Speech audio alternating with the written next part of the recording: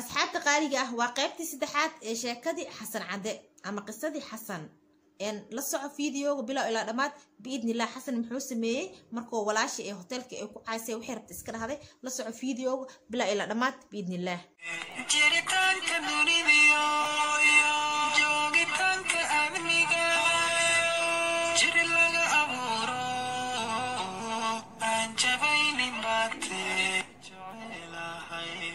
jiritaanka dunidiyo وبركاته. السلام عليكم ورحمة الله وبركاته. وايد السلام دمان سومالي محمد ميلو الباج وقتها كسر دمان جنى كان فرحيته بكرة. جنى قاع مفرنيسه في أقرب اذا جعل أصحاب تقالي يقولوا حرن أصحابي آدي آدي وما سني سوق رحت بدنا يقولوا حرن ترو إيدي رجلسين. مره ربنا قرب كيغا وتاغتين كما دالا إنا إذا هو ما سنتين اصحاب عصبوا أنا سودا بينا. سودا بينا يا أصحابي.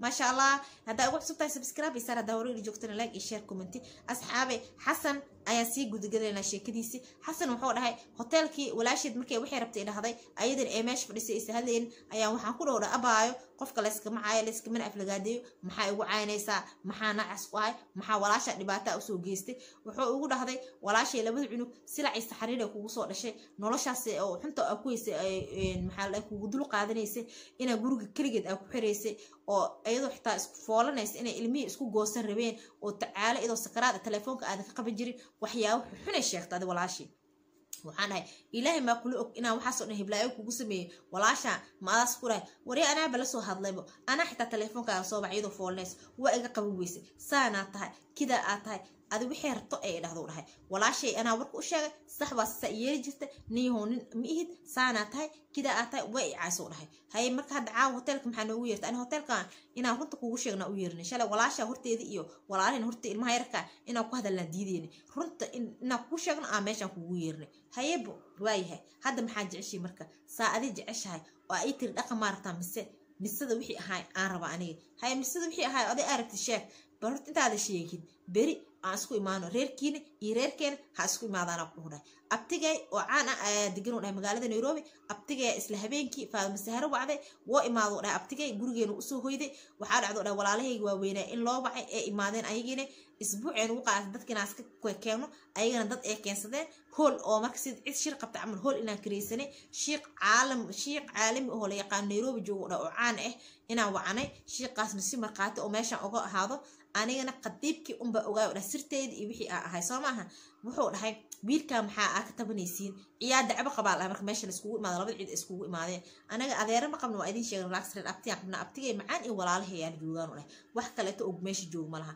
Waxaa la dhahayaa dacbo qabo ciddii dacwada qabtaa hadashay anagaa dacwo qabno wiilkan gabadh inuu saas yeelaay kidaa kidaa waxay rabaanay sheegeen noloshuu ku silciyey guriguu ku xiri jiray biil uma ogoleen guriga shaqo uma ogoleen markuu imaadan qolo isku xiri jiray qoray uu ku xiri jiray wuxuu dhihi jiray shaqadaada waxaa qabanaysa marabi ilmiheeda iyada naftooda halis geliyeen. Ilmihii hadda sidii looga qaata xitaa looma ogola inay soo silaanto oo guriga walaasha ee gasho walaashii faadima sahra? Way xanaaqday. Waxay tiri heblaayoy maxaa been u sheegay? Ilaahay unta kama cabsanaysid miyaa aniga maa idin dhahay ilmaha soo booqonina. Ilmahaaga marabti miya heblaayo markaan dhahay maxay ugu tiri heblaayo? Waxay tiri ilmaha aniga maxaa la dhahayay?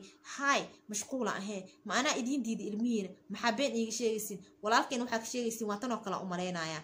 Waxaa caddeemo keenu dhahay. Walaasheed iyo iyada warkay iskula hadlaayeen oo aniga aan ka duubay. Warkiyaa wuxuu dhahay aan soo bandhigay aan dadki soo tusiyey markaasaa waxaa lagu warkii markii la dhageystay kabacdi ee dhahday war hadduu wuxuu sheega hadduubaane walaashay inaan sas dhaho ani waxaa igu kalifay xumaanto asigu u geysanaya ayaa ka badneed. Ayay dhahday way isdifaacday. Kabacdi waxaa dhacdou dhahay in shiiqi iyo dadkii meesha joogay ee go'aan gaareen walaalihii gabadhana ay dhaheen maxaa jecesha in hadda lagugu sameeya aa rabtaa walaasheen waa la furaaya meherkeedana isla meeshaana lagu siinaya sidii la ajligeedaan ku furoo dhahay meherkeedana fartaan ku saaro dhahay ilmihaygana waxay dhahay ilmana kaamirabi heese ugu dhahdo dhahay. Ilmihayga walaashay macaan oo hooyaday labaad ah. Aaba ii joogto dhahay ilmihayga kuleel ay qabowbi uguma haayaan dhahay haye waxaan sii joogo dhahay muddo isbuuca waan soo baxo dhahay meesha shaqadeeda aheeda imaado dhahay shiiqi asiga ahay oo dhahay gabadheedaan ku siinaya ayaan u sheegu dhahay gabadha iyadeed waa soo kala tagnay. Waxaan rabaa xoogaa inay maskaxda ii degto inaan guur ku degdega marabi hayo ugu dhahay. Guriga asaga ahay oo aan deganaay alaabtii taale dhan iyada saan ugu soo xasuusanin waa iska wada iibiyo dhahay guri kaleeto aan dalbado dhahay meesha ka dhow. Gurigii kale haddana la iisoo kariyo dhahay. Guriga asaga ahayaan deguu dhahay. Cabaar markaa guriga deganaya saddex bilood camal shiiqii waa u soo lalaabana u soo lalaabanaya wuxuu dhahay beri jamaacada dhexdeeda waxaan rabaa inaan gabadha kugu meheriyo markaasaa waxaan ku dhahodhaa shiikow ani gabadhaada maba arkine mana aada ibarine se igu meherinaysaa anaa kula jeclaystay waa in aan gabadha aniga kugu meheriyaa kadibna waa ku tusinaa gabadheeda ayuu ugu dhahay gabar waaye aan weli guur soo marin. Markaasaa faadamasahara soo baxay. Faadamasaharo shiiqaan saas u yeelaa. Gabadha itus ku dheh marka ugu horeyso asoo gabadha ku tusin ha ogolaanin. Ma gabadha lagugu meherina ogtaa mise duura lagugu meherina walaa soo shiiq shiiq gabadhoos arkin kugu meherina shiiqi waxaan ku adkaystay oo aan dhahay gabadhaada waa inaa itustaa gabadhaada waa inaa wada sheekaysanaa gabadhaada waa ina markaasuu shiiqi wuxuu dhahay gabadha waa ku tusaa waana wada sheekaysanaysiin. Ogaaw alxubu bacdu sabaaj. Jeceelka dhabta ah wuxuu imaadaa bacda guur.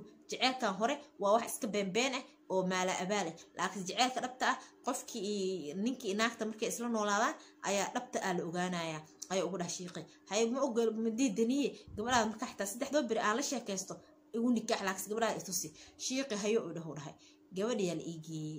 Waa gabar qurux badan oo gaari wiljar ah ku fadhiso oo labada lugood cuuriyaanka ah ama baralaas dadka dabeesha martay gaariga cuuriyaamiinta ah ku dhex jirto ayuu shiiqa iigeeyey.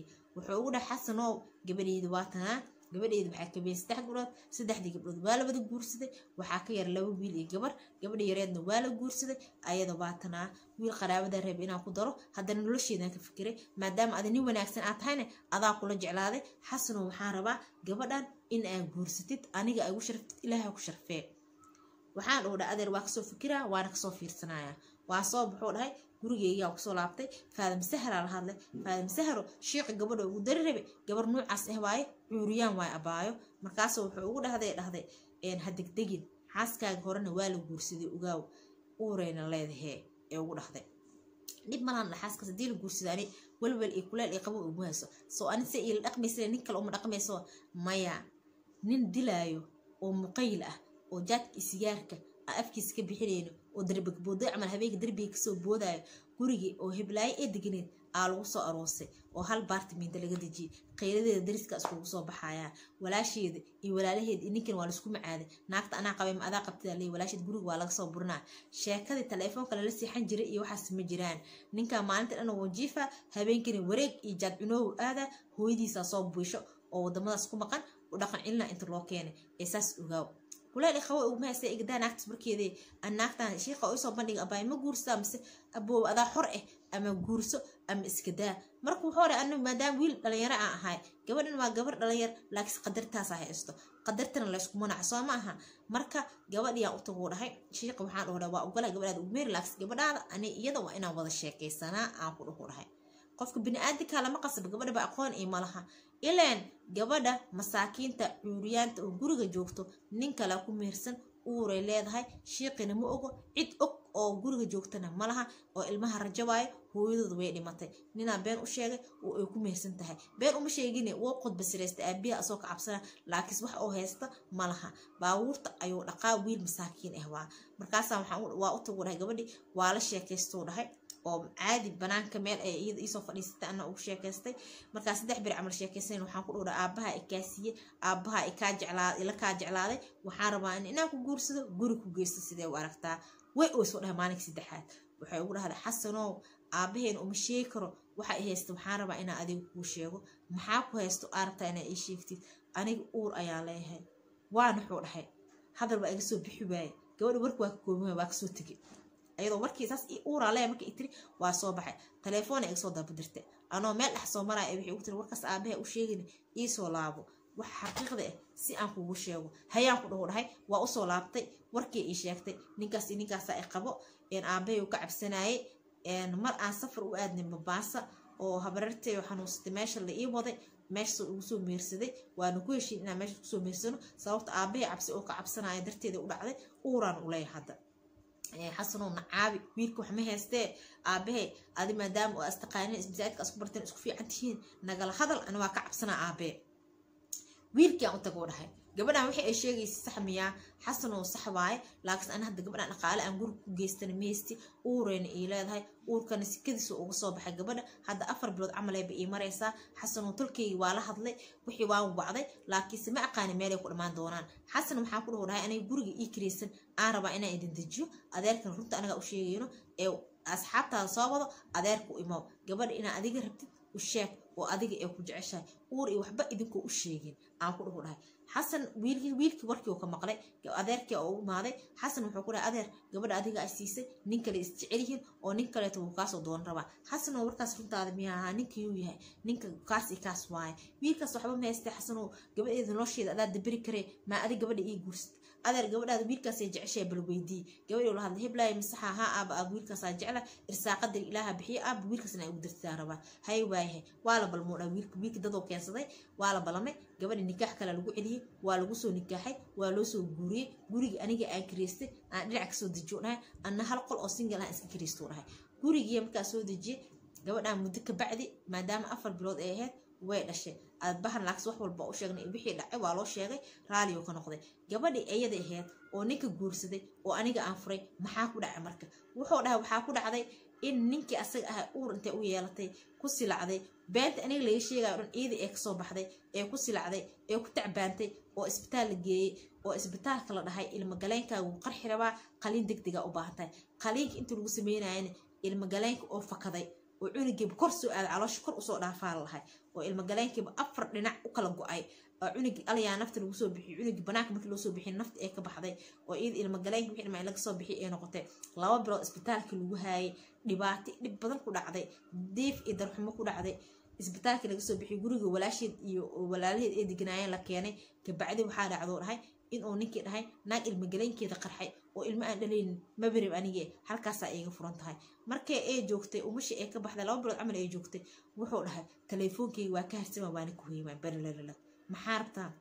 Xasanow nabsiyaankaa galay xasanow aniga i guurso xasanow saa jeceshaa kuu noqonaa xasanow maxamed aamiin ifaad masaar hooyadood ma ihiyo xasanow ii sameyn intaa ii samri jirta waa ku ogahay beenaan kaa sheegay. Inaa been iga sheegtay ma ogtahay haa inaa been iga sheegtay daa ogtahay bal u tag walaalkaygi wuxuu dhahay maalintai beenta ana iga sheegaysay oo hoolka aan isla fadhinay walaalkay say tahay oo xitaa igu gacan qaadoo dhahay. Oo feer iyo haraanta ila dhacay see naagtaada waxaas ugu samaysay see naagtaada saas u yeeshay laakiinse ana afkayga intaa kala furay ma dhihin naagteeda waxayse samayn jirtay. Laakiinse walaashay saharo wax walba way ogeed walaashayna walaalkay kuma aysan dhihin wiilkan dhibkaasaa lagu haya ana iyada go'aan waxaan ku gaarnay in aysan sheegin warkaas maadaama anaga waxa aan sameyno codadka aan dhegeysanay in ilaahay dartiisa loo daayo.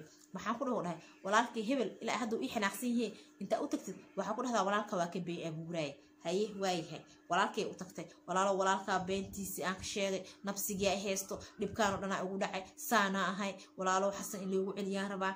Walaalkay wuxuu soo dhahay xasan maalintii oo ku rabay oo kuu ooynaya adaa diiday. Maanta markaa xanuunsatay ilmagaleenkii lagaa bixiyey xasan waa wiil dhalinyaro ah oo mustaqbal u baahan oo carruur inuu dhalan rabee. Ma adoo kuugu ah ku dhaha marka markaasa waxaan ku dhahay wuxuu ku dhahay gabadhin waxay tiri faamisahari maxamed aamiinsa uma dhalin. Labadeena iscunuga qorsayeyna ani xasan waxaan rabaa in faatixadan loo mara la isku kee celiyo walaalkay wuxuu ku soo dhahay waa gardarantee walaalay gardaran uma baahnini. Wiilkas iyo afaariis ka bax gurigaagana joog. Hadalkii dhammaaba haddaa beeniso been waa aatiri dadkina aa ku ceebaysay oo wiilkeeni wiil xun aa ka dhigtay. Haddana hadduu asaga kurabood xitaa anaana diyaar uhayn xitaa inuu kugu laabto. Ani asaga qof lay oo soo dhahay walaalkay marka wuxuu dhahay asxaabta qaaliga ah. Marka anigana gabar kaleetaan bartoo dhahay hadda weli maana guursanin oo gabadhii oo cuuriyaanta ahayd iyo wiilkii guursadane gabadhi wiilkii waxaan u sameeyo dhahay tukaan oo noloshiisa ku dabirta oo baabur dhaqoon iyo wuxuu iska dhaafay. Maasha allah qoys waaye guriga kirida ani dhowr sanaa ka shuboo dhahay. Ayaga hadda gurigooda kirida iska dhiibaan oo wax walbana qabsadaan oo laba caruura isku haayaan anigana waxaan bartoo dhahay gabadhaas gabadhi ka yareed oo xiriir oo naga dhexeeya asxaabta qaaliga ilmahayga faadima sahara iyo maxamed aamiin hooyadoodana meelaan ka istaagaa la ahay xitaa wadankii aniga aan ka shaqaynaya ayay soo aadoo dhahay. Ee joogtaa shaqadii ay taagan tahay. Digtooreysada anaa u tegi jiray ag taagan tahay. Digtooreysada waxay tiri xasan nin ka fiican ma jiro. Aniga haddaan gabar ii joogi lahayd xasan ani xitaa waa ku darsan lahaa sababta gabar iima joogin. Xasan ninka bini aadamnimo ma fiicnay ma laha. Hadalka beenta waxaa ka sheegta anigu ii sheegay. Hadda maadaama aa carruur dhalaynina xasan agtiisa maxaa ka sheegay? Wiil ay gabar waa isku haysin sax baa kursan kartiin laakiin wiilkii gabadhi walaashiisaa korsato ilmihii iskoolay badhigtaanu dhahay. Oo ilmo waaweyn oo hooyanimo uma soo aadaan iyadana uma aado. Haye hooyo waxay u yaqaanaan walaashay faadama sahar u dhahay. Aabana adeerayaashooda u yaqaano dhahay. Anna aabahoodan ah dhahay mar walba u taga. Aaba ileenax adeeradii meesha joogaan ee aabahooda yaqaano dhahay. Marka marka asxaabe wuxuu dhahay farxiya asxaabtaada maxay ugula talin lahayd waxaan ku laabtaa xaaskii maxamed amiin iyo faadima sahre ii dhishay. Mise gabadhan oo gabadha xuriyaanta ala dhashatay ayaan guursadaa. Ayadaa ilaa hadda xiriir naga dhexeeya oo dhowr sano ah. Gabadha jaamacadeeda dhiganaysu dhahay waxaan sugaa intay jaamacadeeda ka dhamaysato. Jaamacaddiina hadda maalmo kooban un keliya uga hero dhahay. Karoonaha sabab yeeshta guriga wax ku baran jirtay.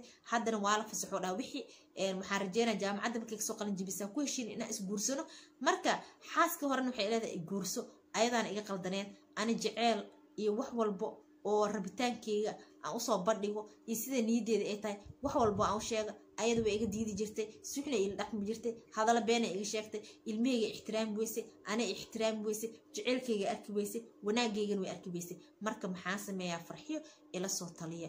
Marka aniga waxaan dhihi lahaa ani u dhahay idinka asxaabay marka maxaa kula soo talin laheedeen wiilkaas mana xaaskaasuu ku laabtaa oo dabeecadda qalafsana kula dhaqmaysa markiisii hore.